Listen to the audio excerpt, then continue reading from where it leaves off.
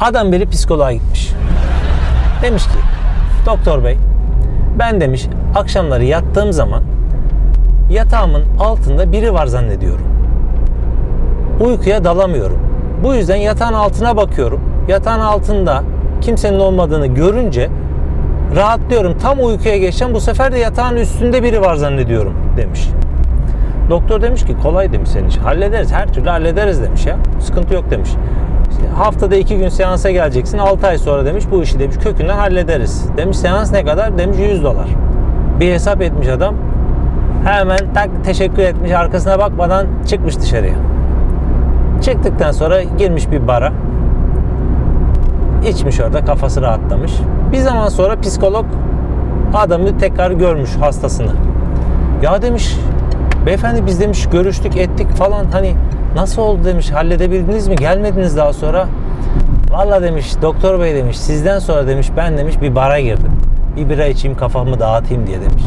Barmen ne demiş size anlattığım gibi sorunlarımı anlattım. Barmen de dedi ki yatak odanızdaki yatağın ayaklarını kesin. Bu iş çözülecek dedi. Hakikaten de demiş çözüldü. O yüzden demiş hani niye geleyim bir daha size demiş. Mevzu bu. Bunu anlatacağım ya.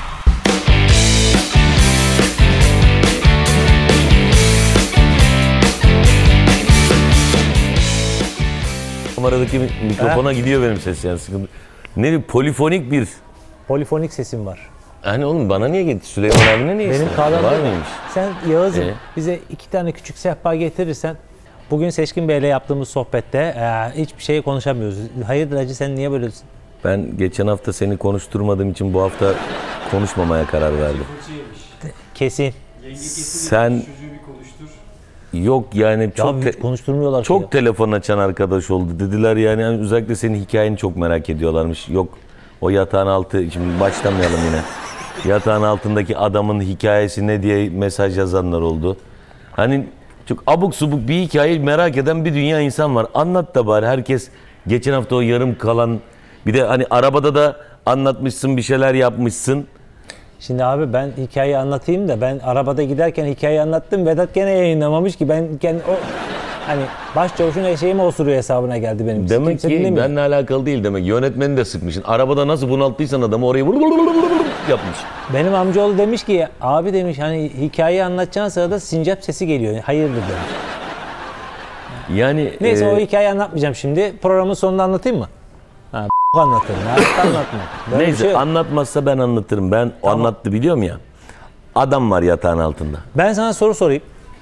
Bu geçen hafta yaptığımız programla alakalı ben de birkaç tane mail aldım. Öyle binlerce mail aldım falan diye yalan söyleyecek halim yok. Bir iki mail aldım. Tanımadığım insanlar mail adresleri açık olduğu için yazmışlar. Ee, bu sevgi olayıyla alakalı, aşk olayıyla alakalı. Sen her şeyi paraya bağladığın için. O yüzden aklıma geldi. Sen dedin ya her şey para. Para varsa yancıkta sela okunur. Oracıkta. Ee, sevgi ne demek abi? Aşk, sevgi ne demek? Aldığın mailde bu mu yazıyordu? Yani aldığın- Mail aldığını anladık da mailde ne yazıyordu onu söyle bari ben onu bekliyorum. mailde her şeyin para olmadığını neden Seçkin Bey böyle şeyler konuşuyor? Hani bayanlar Eh, özellikle. bunlarla gel bana. Ha, bayanlar özellikle diyor ki yani biz her şeyi para için mi yapıyoruz? Hani Evet. diye sor. ha. Evet zaten zaten şöyle söyleyeyim. Binlerce mail almış olsa idin ben susacaktım ama 2-3 tane aldığın için o 2-3 tane. Diğerleri kabul etmiş zaten bunu. İki kişi itiraz etmiş. Biz her şeyi para için mi yapıyoruz? Evet. Para için yapıyorsunuz. Şimdi e, bu konuyu biz aslında Gü- gündüzleyin buraya geldiğimizde sohbet ederken de böyle bir şey konuştuk ama ben sana dediğim gibi sorum şu. Sevgi nedir? Sevgi emek ister, sevgi yürek ister. Sevgi ne? Yürekte değil, tende ateş ister. Nasıl? Sen konuş ben alttan müzik yapıyorum zaten. İşte Hacı böyle bu bir şiirdi değil mi? Sen bil- bilirsin. Yok aslında. ya Sevgi şey ya bu e, al yazmalımda vardı ya. emek ister, yürek ister, yürekte değil, tende ateş ister falan filan Öyle diye. bir şey. Şimdi gerçek sevgi olayı kalıp kalmadığını konuşmak açıkçası bizim haddimize değil. Ama insanlar e, haklı olarak diyor ki hani parayla tamam parasız olmaz. Bunu ben de kabul ediyorum. Parasız olmaz ama gerçekten birbirini seven insanlar için de paranın çok fazla önemi olmadığını düşünüyorum. Sevgi. Çünkü sen orada dedin mesela kuru soğan ekmeği bir gün yer, iki gün yer, üçüncü gün kebap verenin arkasından gider dedin. Mesela gücenmiş bazı bayan arkadaşlar. Abi ya boş ver iki tanesi gücense sıkıntı yok. Ya iki Bak geçenlerde zaten çok enteresan hani bu yok sevgi gelmiş bilmem ne. Geçen de ben Anka, arkadaşım birine Ankaralı arkadaşım birine espri yapmışlar. Şey diyor işte Ankara'ya vapurla geldim muhabbeti falan filan yapmışlar. Yani Ankara'ya deniz geldi falan demişler. Herif abi Ankaralılar bu espriye o kadar alışmış ki herif şey diyor. Ha, Ankara'ya deniz geldi 06 pavyonda çalışıyor demiş. o, o, o Konuyla ne alakası var? konuyla alakası yok ama o deniz gelme hikayesinin gerçeği ne biliyorsun değil mi sen? Ne? Kimin zamanında çıktığını biliyor musun? Hayır. SHP'li Murat Karayalçın vardı. Hatırlıyor Ha deniz getirecekti o. Belediye başkan adayıydı. Ben dedi Ankara'ya deniz getireceğim dedi. Orada bir şey mevzusu oldu. Billur mevzusu olmuştu. Aslında bu Kanal İstanbul'u böyle oradan böyle bir Bursa'dan alsak yönetmenim olmaz mı? Bursa'dan alsak Kanal İstanbul'u. Oradan yardırsak aşağı doğru böyle Eskişehir, Eskişehir falan desek. O kanalı uzatsak e, Ankara'ya kadar olmaz mı? Orada bir deniz yapsak. Ya arkadaş şu an yapılana bile itirazlar 1 milyon. Onu yaptığın zaman artık hiç olmaz. Kanal İstanbul olayı enteresan bir olay. O konu zaten bizimle alakalı değil. Siz de zaten çok ilgilendirdiğiniz Hacı başka ne yazıyordu maillerde? Yani ins- insanlar her şey her şeyin para Ya biz olmadığını soğan ekmek söylüyor. yeriz falan mı diyordu bunlar? Hayır, sevgi için fedakarlık yapılması gerektiğini yazan Tamam biz de arkadaşlarım aynısını oldu. söylüyoruz. Sevgi için fedakarlık yapılması gerek diyoruz. Ulan sevgi için fedakarlık yapacaklarsa e, name yapmasınlar o zaman. Gitsinler alışverişlerini pazardan yapsınlar. Yani pazardan kastım şu. Pazardan domates, sebze, meyve hepiniz alıyorsunuz eyvallah. E, gidin tişörtünüzü de pazardan alın. Terliğinizi de pazardan alın. Ama niye? Sevgi yemek ister. Ulan 3 kuruş para kazanıyorsunuz. Elektrik parası, ev kirası, su faturası, bilmem ne faturası. E sevgi yemek ister. Ojeler 1000 lira. Opa. Sevgi yemek ister. Terliğim Vakko'dan, Takko'dan. Hani lan emek istiyordu? Elinde git Philips'in elektrik süpürgesi. Kaç kişinin evinde gırgır var? ya, sevgi yemek istermiş, yemek ister. Ondan sonra yok kuru soğan. Ya geç abi bu bilmem ne yaptım ayaktan. Şimdi eskiden eski Bir kadına rahatlığı vermezsen, rahat hayat yaşattırmaz isen sürekli en kötü ihtimal şunu söyler. Sen bana ne yaptın? Sen bana hayat mı yaşatıyorsun? Bak. Bak Ayşe'nin kocasına. Gül gibi yaşatıyor. Bendekiler onda yok bile. Ulan ha bizim program abi şeye döndü ha. kadın programında Talk, talk show'a döndü. Skeçe döndü böyle yavaş yavaş yani. ya beni sinirlendirmeye çalışma. Evet. Geçen evet. hafta sinirlendirdim Ama gördüm. böyle oldu işte. Diğer türlü ne oluyor mi? Şimdi arkadaşlar bak- bakın. orası Şimdi değil. Süleyman'la ikimizin arasındaki programdaki fark şu. Bu kimi? Bu kamera kimi? Ben ona bakmak istiyorum sana ne? Ama ben dedim ben şimdi bu kamera çok ters geliyor bana. Artık mikrofona da bağlı değil ya. Kendi kafasına göre takılıyor. Ey, kay- Hacı şimdi Süleyman'la bizim e, program sunmamızdaki fark şu. O TRT spikeri gibi. İyi akşamlar sayın seyirciler. Bir ana haber bülteninde sizlerle birlikte olmaktan mutluluk duyuyoruz. Ben de o şey gibi. Bir an yok muydu? Ö, ö, ö, ö. E, iyi akşamlar sayın seyirciler. Bir haber bülteni gibi gibi. Yani sonuçta ben e, bağır çağır program yapmak istemiyorum. Arkadaş sen bağırıp çağırıp millete fırça atıyorsun. Sen hani ben ayrıştırma taraftarı değilim. Sen ayrıştırıyorsun. Ben direkt. birleştiriyorum. Nereye birleştiriyorsun? Ayrıştırma birleştir. Ya bir- Sıkıştırıyorum hatta. sen mesela buraya gelen misafirlere, müşterilere de böyle mi davranıyorsun? Estağfurullah. Estağfurullah. Niye öyle davranıyorum? Ee, Daha niye- kötü davranıyorum. Ekrandaki e, ah, bak oradan bakıyor. Hadi bakalım. Buyur Daha cevap ver. kötü davranıyorum Buyur, hatta. ablama cevap ver şimdi hadi bakalım. Şimdi sonuçta sevgi önemli. Sevgisi olmayan insanlar para da olsa sevgi yoksa Abi yine para önemli para. Para, varsa... Ya benim param bak şimdi ben sana şöyle söyleyeyim. Ben çok nalet bir adam olabilirim. Çok e, kötü bir adam olabilirim. Bilmem ne adam olabilirim. Ama o param varsa sevenim çok olur be. Harbiden çok olur. Yani beni şöyle olur. Birlikte yeriz içeriz bilmem ne yaparız. Sevenim çok olur dedim. Ha dönünce arkamdan inbe diyebilirler. inme. Aa, evet. Ne inmesi? İnbe. Ha tamam anladım. İnbe diyebilirler ama e, Yani soluma indi hani inme indi falan. İnme nedir abi? İbne'nin sansürsüz hali. Belem puşt gibin, ibne gibin bir şey yani. İdire, Ha ben sansürlemiştim ama çok merak ettim, duymak istedim. Ben de söyleyeyim madem öyle. Sen tabi oradan görmüyorsun burada müşterileri. Ben o yüzden bağırıp Aynen. çağırmıyorum. Şimdi e, onun için hani ben her zaman şunu söylüyorum. Param varsa sevenin de çok olur. Parası olmayıp da sevilen adamlar da vardır tabii ki. Var. Emme bir yere kadar sevilirler. Sen bana parayı ver, dünyanın en sevilen adamı olurum ben. Bu biraz sahte olmayacak mı sence? Hiç önemli değil. Değil. Ben Para mevzu ver. sevil... Para. Para önemli değil. Para. Vallahi bilmiyorum ya. Para tabii ki önemli. Önemsiz demiyorum ama yani... Neyse ver gelsin abi. Geç. Sevgiymiş bilmem. O biz bizi geç abi. Biz biz bu konuda tek bir şey biliyoruz arkadaşlar. Sevgi, mevgi, cartçu, soğanma. Para, para, para, para bitti. Adam Geç abi. Bildiğin Napolyoncu Napolyon bok yemiş benim yanımda. Para, para, para. o derece. Şimdi öteki konuya geçmeden önce hemen kısa bir ürün tanıtımımız var arkadaşlar. Ürün tanıtımımızdan sonra tekrardan beraberiz. Haydi bakalım.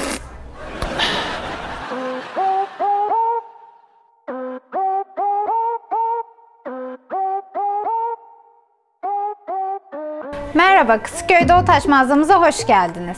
Bu hafta klasik Chester'dan uzaklaşan modern lüks kategorisindeki lunch koltuk takımını inceleyeceğiz. Renkli nubuk kumaşları ve göz alıcı kapitone detaylarıyla birlikte salonlarınıza yer almayı bekliyor.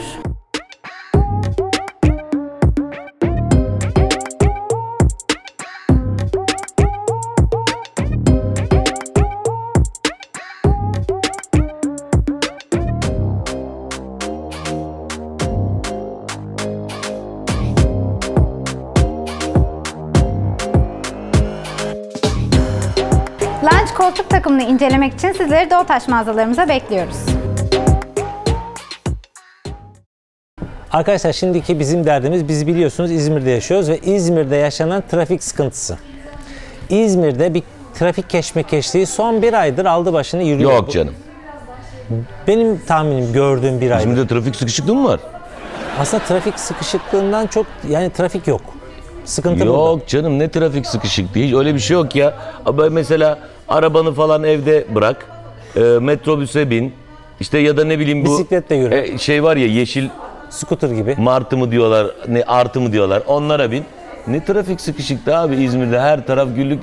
Abicim İzmir'de trafik sıkışıklığının son dönemlerde artması bir yana yolları da ikinci yana. Trafik sıkışıklığına sebebiyet veren etkenlerden biri de hem araç yoğunluğu hem e, belediyenin çok sapır saçma uyguladığı enteresan şeyler var. Bizim burada da var mesela kaldırım büyütme. Kaldırımları büyütüyor iş bu sistem biliyor musun? O, e, şey otokontrolmüş yani ben yolu daraltırsam diyor kimse buraya park edemez çünkü biri buraya park ederse diyor arkadaki geçemeyecek korna çalacak. Lan saf sen onu yolu daralttığında bizim adam oraya geliyor dörtleri yakıyor sen arkada istediğin kadar kuyruk ol onun tınında değil oradan da çıkıyor bir de böyle yapıyor. Ben de ben. Bende o iş bende diyor. Yani bunun çözümü bulunacak deniliyor. Yok işte Tunç Başkan'a söylüyorum. Ee, hani ben birkaç yerde duydum işte yok Tunç Başkan bu olayı çözecek şöyle olacak böyle olacak falan diye. Geçen gün açıklama yaptı Tunç Başkan. Abi ben dinlemedim. Sadece açıklama Ben yapacağını duydum. Bir açıklamayı anlatırsan. Anlatayım. Ee, Tunç Başkan'a diyorlar ki efendim trafik sıkışmaya başladı. Yollarla alakalı bir projeniz vardı sizin. O da diyor ki 2-3 tane benim projem vardı. En önemlisini açıklıyor. Diyor ki arabayı mümkün olduğunca az kullanın. Bu sorunun çözümü tüm dünyada aynı. Trafikteki araç sayısını azaltmak.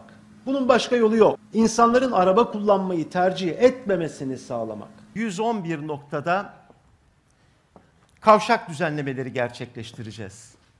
Bunlar altın dokunuş niteliğindeki dokunuşlar olacak. Üç kritik noktada trafiği yer altına alacağız. Alsancak Garı önünde, Basmane Garı önünde ve Karşıyaka Vapur İskelesi önünde trafiği yer altına alacağız. İnsanların araba kullanmayı tercih etmemesini sağlamak. Sabah 8.30'dan önce bizim arabamız yok. Ne minibüsümüz var ne otobüsümüz var. İnsanların araba kullanmayı tercih etmemesini sağlamak. Taşıtlar da yok. Zorla gidip geliyoruz ve okul saatimize uymuyor. Akşamları eee, belediye saatimize yine uymuyor. Yarım saat boyunca durakta bekliyoruz. Saatinde gelmiyor yani. Kaçırırsanız ne olacak peki otobüsü? Ailemizi çağırmak zorunda kalıyoruz. İnsanların araba kullanmayı tercih etmemesini sağlamak. Mesela adamın saat diyelim 7'de randevusu var. Hastaneye gidiyor, başka bir yere gidiyor. Araba bulamadığından beklemek mecburiyetinde. İnsanların araba kullanmayı tercih etmemesini sağlamak. Kırıklar Köyü'nden buraya biz öyle bir iş imkanı olduğunda gittiğimizde yürüyerek geliyoruz. Kırıklardan buraya. Tabii. Hani araç olmadığı için, ulaşım olmadığı için. İnsanların araba kullanmayı tercih etmemesini sağlamak.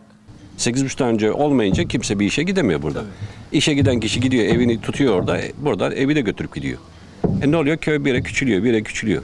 İnsanların araba kullanmayı tercih etmemesini sağlamak. Ah abi Şimdi kavşak diye inanılmaz bir projeymiş. Evet, kavşak yaya geçitlerinden geçti. Onları yapamayacağını şu anda. O yüzden araba kullanımını azaltmamız gerektiğini, bisiklet ve toplu taşımlara, toplu taşıtlara yönelmemiz gerektiğini. Harika. Abi projenin güzelliğine bak. Birebir şu söylendi aslında. e, sizden ben oyu aldım ama ben sizi çok güzel oyalarım. Abi benim de o Dedi. zaman benim, benim de bir projem var Süleyman. Nedir? A- Mazot ve benzini ben 1 TL'ye düşürebilirim. Ya sen onu düşürürsün. Abi Sen bak, bu da benim projem. Tamam. Mazot ve benzini vallahi 1 TL'ye düşürürüm. Nasıl düşürürüm biliyor musunuz? Tunç Başkan'ın projesi gibi. Aynen. Arabalarınıza binmeyin. Bak Düşün. mazot 3 ay sonra 1 TL. Nasıl proje? 3 ay sürmez.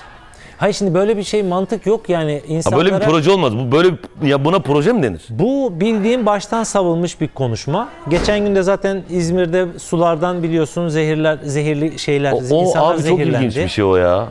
Ba- başkanın açıklaması da şu klorlama fazla gelmiş olabilir. Bir kaşık suda yaygara koparmayın. Ya böyle bir mantık böyle bir açıklama var mı? Bu şeye benziyor işte deniz salyaları artınca Ekrem Başkan'ın aynı şekilde işte biz bunu halledeceğiz, temizleyeceğiz. Gene bir şey yapmadı, gene devlet el attı. Yani biz o zaman belediyeleri kaldırın arkadaş ya. Belediyeler iş yapmıyor. Değerli arkadaşlar, devlet iş yapıyor.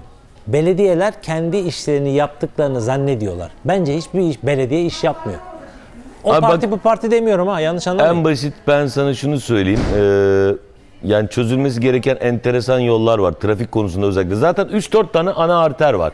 Bir, Yeşildere'den başlayıp havaalanına kadar giden yol tek yol. Tek güzergah. Kaçarın göçerin yok abi.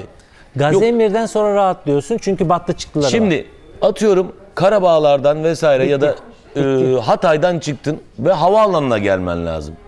Abi tek bir yolun var. Otoban hangi nereden gireceksin otobana? Mecbur buradan gel. Ya, Evet. Gümüldür'e gidiyor adam oradan geliyor. Kuşadası'na gidiyor oradan gidiyor. Selçuk'a gidiyor oradan gidiyor.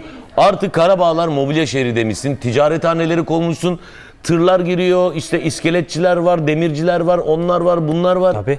Abi bildiğin trafik keşmekeş. Bornova otoban çevre yolunun halinde. Aynen. Eskiden Bornova çevre yolundan çıktığınız zaman Çeşme'ye, işte Gazemir'e, Karabağlar'a, Balçova'ya neyse gidiyorsanız saatleri belliydi. Akşamları saat 6'dan sonra bir kalabalık olurdu. Bunu kabul ederdik. Derdik ki iş saati. Ya arkadaş bugün saat 1'de de gitsen Yani- yol aynı kalabalık, 3'te de gitsen yol aynı kalabalık. Sebebi ne? Kamyonlar ve tırlar. Ve bu bizim konuşmuş olduğumuz dikkat ederseniz şehir içine girmedik bile de arkadaşlar. Girmedik. Şehrin etrafını hemen hemen turlayan yerlerden konuşuyoruz. Bir. İkincisi zaten bunu biz 3-4 sene önceki bir Deli Dolu programında Süleyman kardeşimle yine konuştuk. Hatta bu Doğru. tramvayların Aziz Başkan zamanında ilk yapıldığı dönemde bas bas bağırdık. Çok Bizi eleştirenler oldu oldu. Ne oldu? Şimdi herkes diyor ki tramvay geldi mahvoldu trafik. Oğlum 4 sene önce biz bağırıyorduk. Aklınız neredeydi? Alsancak'ta, Alsancak garının orada zaten trafik bir keşmekeşti. Bir de tramvay girince tek şeride düştü. Aynen. oldu, mantığı Bak, ne? Bizim ya 4 ya 5 sene önce Konuştuk. çok iyi hatırla biz Evet. hatta e, tramvayla taksilerin kaza ihtimallerini konuştuk. Evet. Trafiği çok e, daralt Oldu mu? oldu. Oldu. Ve çok ilginç bir şey var. Şimdi burada tramvay yolu. Burada tek şerit vermişler. Ve Alsancak'ta bu caminin orada. Doğru. Hocazade Aynen, Camii mi? Aynen. Tek şerit vermişler. Burada da Gidişte de, tramvay dönüşte yolu. de. Şimdi ta, ticari taksi geliyor. Müşterisini in- abi nerede indirecek bu adam? Doğru, haklı. Dörtlüleri çakıyor, müşteri indiriyor, para alıyor, veriyor. Arkasında da ben varım. Ben onu geçmek için ya da oradaki bir e, toptan işte mağazaya herhangi bir toptancı bir ürün indiriyor. 3-5 araba peş peş oluyor. Ve ben bunları geçebilmek için tramvay yoluna girdiğinde arkadan cezaya gönderiyor sana. Niye? Tramvay yoluna girdin diyor. Nereye gireyim? Uçayım mı? Uçsan uç ula aşağı. Yoksa vallahi ben uçururum seni. Çık çık çık çık. çık. Baba vallahi uçuyor. Çık çık çık çık çık çık. Çık çık çık çık çık çık çık çık çık çık. Brrrr, Çık çık çık çık çık çık çık. Şimdi senin söylediğine benim söylediğimden şu çıkıyor abi. Ne senden ne de benden belediye başkanı olmaz. Demek ki biz zeki insanlarız. Benden olur lan. Zeki insanlardan Beni, belediye başkanı beni olmaz gibi dönem geliyor yapın. artık. Sa- sayın vatandaşlarım, sevgili halkım, Bana bir dönem belediye başkanlığı verin. Bana bir dönem milletvekilliği verin. Nerede? Başka bir şey istemiyorum. Nerede? Bir dönem yeter Allah bereket versin. Allah bereket. Bir dönem istiyorum. Çok iyi. Bir- dönem sonra siktir edin. Vermeyin bir daha istemiyorum. İstersem adam değilim. Tek, Peki sen bu söylediğin altına imza mı atarsın, parmak mı basarsın? Abi ben paracı adamım. Bir şey söylememe gerek var mı da? Benim, benim bunları söyledikten sonra imzaya da parmak atmama gerek yok. Mevzu biliyorsunuz. Parmak ben atmak değil, Para parmak para para. Parmak basma. Varlığı bir dert. O Akseki Milli Marşı o. Para para para. İlle de para para. Ulan Sen de paracısın çakal. Sen var ya bu para konusunda beni paravan olarak kullanıyorsun. Asıl paracı sensin. Ama ben hep gö- göz önüne beni sokuyorum. Paracı paracı paracı diye. Aslında ben sinsiyim. Düşünsene benim belediye başkanı olduğum bir yerde sen de yardımcıymışsın. Kesinlikle öyle olması lazım. ben bak Trafik yardımcı sorununu olurum. kesin çözeriz ha. Emin ol. Abi bir sürü ihale açarım. O garanti. Ver ihaleyi, ver ihaleyi ama şöyle dersiniz. Çalıyor ama Çalışıyor. çalışıyor. Ya çalmak değil aslında olay da. Ee, bu konu- Vatandaşa hizmet tamam. Vatanda yani öyle, Abi, öyle düşünmek en kötü lazım. ihtimal şunu düşünün arkadaşlar. Bir çalıp çalışanlar var, bir de çalıp hiç çalışmayanlar var. O, Mantıklı mı? o ayrı Evet. evet. Doğru. Mesela en kötü ihtimal ben diyorum ki biz ikimiz başkan ve yardımcısı olsak bize çalıyor diyemezler. Diyemezler. Ulan yapıyor. Biraz pahalıya yapıyor bu işleri ama yapıyor. Yapıyor. Yapıyor derler. O yüzden ben Tunç Başkan, Tunç Başkan'a buradan sesleniyorum. Lütfen bu organik buğdaydı, yok yerli tohumdu bilmem böyle e, şu an için gereksiz, bana göre şu an İzmir için gereksiz işlerle uğraşacağınıza şu plan projelerinizi, bu kavşakları, yaya geçitlerini, battı çıktılara bir lütfen öncelik verin ki şu trafik bir rahatlasın. Bu, iş bisikletle, ne bileyim toplu taşımlarla falan olmaz. Ben özgür bir ülkede yaşıyorum. Arabama binmek istiyorum. Senin de görevin ben arabama bindiğimde rahatça yolculuk etmem. Bu kadar basit. Lütfen aynen, buna ee, bir de- öncelik verin. Şöyle arkadaşlar hani e, İzmir'de yazın trafik İzmir'de biraz daha artıyor. Neden artıyor derseniz malum yazlık bölgelerimiz işte Tabii. Çeşmemiz bilmem orası burası falan Kuşadamız diyeceğim hani Aydın'a bağlı ama biz onlardan daha çok sahipleniyoruz. Aynen. Çoğu insana sorsan harbi harbi diyorum Kuşadası İzmir. Aydın'a mı bağlı İzmir'e mi de herkes İzmir der. Doğru.